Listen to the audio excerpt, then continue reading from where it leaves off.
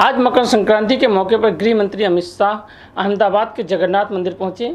अमित शाह ने यहाँ पूजा अर्चना की। अमित शाह पूरे परिवार के साथ जगन्नाथ मंदिर पहुँचे। बताया जा रहा है, शाम को अमित शाह अपनी बहन के घर जाएँगे। वहाँ पर अमित शाह पतंगबाजी का लुत्फ उठाएँगे। गुजरात में मकर संक्रांति के अवसर पर पतंगबाजी की परंपरा रही है।